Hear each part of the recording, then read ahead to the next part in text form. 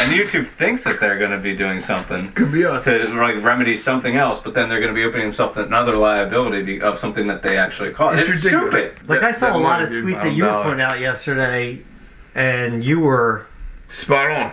yeah. I mean, Spot everything on. that you said is exactly what I feel. What I'm sure a lot of other people are There's feeling no right doubt now. about it. And it's like what I don't understand is like what is this thing like? Because I didn't know about this. Is like one of your tweets was about like they do this thing with your face. Google Vision. Yeah, it can track literally facial expression and denote what your actual emotion is based off of your the vertices of your eyebrows and the positioning of your mouth. It'll know if you're angry, sad. It'll know you're Lorenz Abraham who lives at this address because it's hooked up to Google, which Yeah, has so all the messed up, information on all of us. Also, they're linked with 23andMe.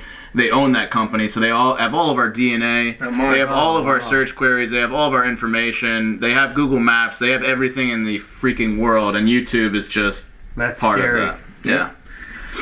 Yeah. Wow. So it's like, do they, you know, the information that they're taking from your thumbnail of your facial expressions and everything have to do with whether they're going to demonetize you, not push you out, all that stuff? Potentially, if you have a face that's like, people are more Right. likely to maybe buy the product that's presenting that, or you know, if it's smiley face that's What if you have promoting- resting face? What you do? then all of a It's like the guy Yeah, I who- know I do. It's like the guy whose Sorry, name is doing Steven. Right. YouTube's bots don't care that that's his last name. They see that word, they hear that word, they're gonna ding you, and that's what happened to the guy. That's what happened to a bunch of other people who have names that are Like Joe Bump. Maybe that's why we're getting screwed. right. So that's discrimination. Really, if there's discrimination, It's just like every I can't help my LGBT, LGBT, everybody in that community. Uh, I just saw somebody reaching out that the channel name is Gay God with a million subscribers. Every video he makes, because it's gay, YouTube has a label on that. It's ridiculous. It's ridiculous. Yeah, somebody's got to be the least voice. being honest. Yeah, someone's gonna spark the fire, though. I At least I'm being honest. Honestly, I felt this way every single day going to college, going to the bank, working for my dad, playing soccer for a coach. This goes so much deeper for me personally than just making videos on a platform. It's that same feeling of undervalued, of not feeling like there's even a purpose anymore. Mm-hmm. We used to make videos and actually have fun doing it. Mm, now most of our time is spent strategizing on how can we make a video that our audience can actually see. Let me tell you, today's video that we put out was going to be smoking turkey, and I had to text Tom and say, "Wait a second, smoking might get demonetized." And I think let's that- put it to smoke turkey. And I think even smoked, I think you guys got low key suppressed. Right. And I learned just from my Michael video, I was like, oh, collabing with a YouTuber will bring the views up. Because I put exposed in the title, they think it's exposing nudes. It also could be part of their harassment, hate speech new policies that are stifling the videos. And that's the thing that I'm very frustrated with. Right. Is because not only can you not do like we just had a fan call and say their favorite th- two things was the Psycho series and My Virtual Escape. Not only can you not do the Psycho series, and I keep having to hit home, and what hits home is I remember that grind. Mm-hmm. I remember two videos a day. I remember everything on the freaking line. Right. I remember millions of people tuned into that series. And I mm-hmm. remember us, the whole family deteriorating, having my parents having to hide. I think of all the blood, sweat, and tears put into that, all the sacrifice put into that. And to know if I was doing that now, it would be all for nothing. Right. It would be all for nothing. And then to think that all the grind of my virtual escape, we made nothing for that. While YouTube has these series that are doing the same exact thing, while Netflix and Hollywood, they have all these series that are doing the same exact thing. And here's the thing you could say, okay, that's entitled, Jesse. That's entitled to think that your art deserves to get paid or whatever. And whatever. You could even make the argument that, okay, yeah, I got a quarter of a million views on each video. And, okay. But here's the thing: is that I helped YouTube make millions of dollars from the mm-hmm. Psycho series. Yep. So they owe a commitment to me. So when I come out, with when McJuggernuggets, their premier creator, who was in the top 500 channels on YouTube, when he makes a brand new series, you support that. Right. And even if you don't want to give me any money or anything, at least don't demonetize every single episode and then age restrict the pilot. Right.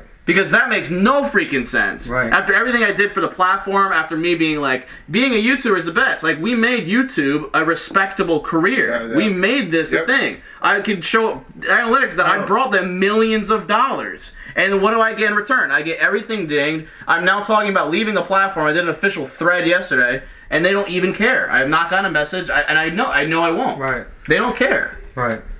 And, and the thing is, I can remember all the people that would would write in and you know back in the Psycho series, be like, "I want to be a YouTuber now," Yeah. because they were watching you and say, "I want to be a YouTuber. I want to Yeah. be the gamer. I want to be that guy." Gave people hope. And it's like now it's not it's not happening for these people. And that's the thing that breaks my heart and where my brain space has been the last couple years. And I, I'm tired. I'm, I'm seriously done living in it. Because the thing that I've loved my entire life is now gone. 13 years of my life, even the heart of the psycho kid himself, is dead. His dream was to be a YouTuber. Right. His dream was to follow his passion. They killed it. They killed it for Right. me because I would love to go and let's go explore some haunted, haunted abandoned places. Right. Every day we're gonna be like, you can't do, you can't say Right. that. You can't. You know, we're gonna have to retake that. You can't Right. say that. You can't. You can't do that. You can't have blood. You can't have blood. We can't have Right. blood. And we then can't all do. those We can't burn are. Ursula. Yeah. Are you kidding me? We Yeah. can't even burn Ursula. Right. The monkeys pushing Edgar into the state. We can't do that. do that. Guess what? We can't do anything on this platform. Right. So that's why I'm done. Right. And that's and that's what I'm talking about going full fledged because it's like okay, I would love, I miss the days where I would come over to your house and be like, yo, what do you want to film? right. When we're thinking about the creative, we're thinking about what we can do instead of I don't know how to. Uh, Yeah. uh, What do we do? What do we title it? Well, yeah. uh, you know, how long does it need to be so we can get so we can access our own viewers? Yeah. Because we can't even access our own subscribers Right. because they're stifling notifications because they're suppressing views. The whole system's Yeah. and if you guys haven't seen my Twitter thread, watch my Twitter thread. We're live on the podcast right now. Thank you guys for listening. Check out Larry's Loungecast. Links in the description. Uh, also, check out my Twitter threads. I'm going off. There'll be a more official announcement. Pretty much, I'm done with YouTube as of January 1st, but I'm already transitioning over, guys. Um, Storyfire is serious. I'm gonna be. I'm being more truthful, Jeffrey. So Jeffrey's here. I don't I know. appreciate that. So you guys will see more of that down the line. But it's the same feeling I got at the bank till eventually I literally ripped off my tie and was like, I'm gonna be a big YouTuber. It's sad to see that that aspect of it's changed. I just know I want to create something for everybody listening. For all you guys, I want to see the next Psycho series. I want to see the next My Virtual Escape. For one, I can't make that right now. And if you want to see the next McJuggernauts project, it's already existed. It's called Storyfire. It's another way of creating something. It's creating something that's going to cause more change than Psycho Series or M- My Virtual Escape combined. And once we do that, once we actually have a place, a platform for the creators, one that where we're making Storyfire videos and we can curse and we can actually think about the creative, then things are going to get fun again. And then guess what? It's our platform, so nobody can tell us what to do. Nobody can be like, you can't, you can't even, you, you can't have a, a you know transgender person. And I mean, like like just stupid things that are literally destroying what it meant to be a YouTuber and that's the narrative I want to change. I received so many DMs just in the last 48 hours. We have so many new creators coming on board. We have so many new investors coming on board that this thing's about to blow the freak up Right. because everybody's pissed off. They just removed like I said verification. They just took away live subscriber counts. What's next? Right That's the big question. and you can't What's tell me, and it's not for the community, it's not for the creators. So then you beg the question, why are they doing it? It's before mainstream artists. They're trying to exactly right. dismiss and discredit the independent creators, and it's the same thing. They they drew a line in the sand when they sided with mainstream media when they tarnished PewDiePie, their number one creator. Our number one creator on Storyfire, which yeah, okay, is myself. But when we get organic creators up, we're always going to defend our artists because that's what we're all about. It's not about the money. It's about having a platform where you can be creative and be yourself, and one that you can be fairly compensated for. But at the end of the day, we're not going to sell out because we want to be like cable TV and you know we want all these Hollywood celebrities. It's not about that. Right. It really is ridiculous. You look at YouTube, right? Like, and I, I, I, come on, I love the Cobra Kai series, right? So the end of the last series was them having a big brawl in high school. Well, how come they can do it? But if you have any kind of violence in your video whatsoever, it's being re- repressed. It, nobody's mm-hmm. getting pushed out. Like it's such a double standard. Like have one standard. Right. That's just annoying so bad. Like, it's okay for them to do it. It's like Big Brother. Like okay, you can go do it. Say what you want and do something else. It's bull. yeah. It really is. And you know, you changed my life. You changed his life. You changed his life. You gave us an opportunity to do something at 40 years old I had no idea I had a passion for. That's gone now. So all the people that have a passion for these things, it's gone. You can't do it now. Your passion doesn't matter. All I care about is a dollar and cents. Mm-hmm. It's bull. It really is. And it's something that I think we've all been in denial about. I think deeper than we realize that because we're just, you know, going through the motions and like, yeah, we still got to make content. There is no other alternative. That's sad. That's what happens when people get locked into a job that they don't a love. job. You get locked into a relationship you actually don't love. But you get locked and trapped in these boxes. But like, this is us trying to punch through the box. And if you don't support Storyfire, you're the loser. Right. That's right. You're the one. You're the bad guy. If you don't support the people trying to rise up, if you support the big tech, whose Yep. side are you on? Yeah. That they're a faceless company. YouTube does not give a f- about you. We care about the creators. So you're like, ooh, I don't like Storyfire. It's gonna fail. Guess what? We got millions of dollars to fund this. You don't know anything that we're doing behind the scenes. We have all the biggest creators that know about the fire and that are coming on board. You are the loser for not being on the platform. You were the naysayer. You were the negative Nancy, but yet you're supporting this conglomerate that is stealing and using all of your data. You're on the wrong side. You should want competition. You should want the people standing up. You should want all these things. Unfortunately, there's so many people out there that they they don't want to be told what to do. They feel like they're being told. You're Right. not being told what to do. You're you're you're You're being trying- given an option. You're, you're, yeah, people are trying to explain to you there's another option, there's a better way.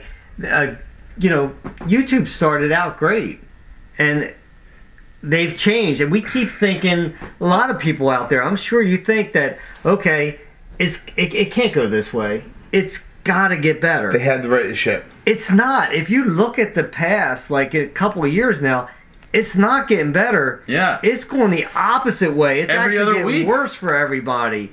And I mean, heaven forbid. I mean, it used to be that almost everybody could put up ads on their videos, right? Mm-hmm. Now you gotta, you know, get a, a, so many minutes watched and so many subscribers to before Yeah. you are, and then they take their time to actually approve you for, Mm-hmm. for that. It shouldn't be this way. I mean, you guys are putting out content. Right. You're creators. The people Right. have a voice, right? Who's making the money here? People have a voice, and YouTube's stifling that voice. It's Yeah. all America's about having your own voice. You have the right to do what you want to do. And when YouTube first started, everybody had their voice. You can go on YouTube, do whatever you want to do. You can put your video out for everyone to see. You can see it. Now you can't because they're gonna. They're not only. It's not that you can just not make money. They they suppress your views. They don't Yeah. put it out for anybody. Nobody can find it. It's such bull BS. It, it, it's it's absolutely People outrageous. still say they're like, you It's still make videos? it's completely against what our foundation of our country is based on. Right. It really is. It's horrible.